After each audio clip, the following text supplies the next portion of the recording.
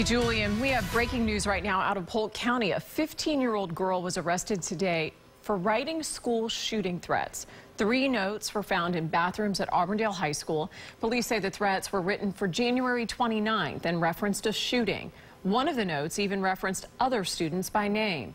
We're told a ninth grade student confessed to writing those notes, and she's facing charges now.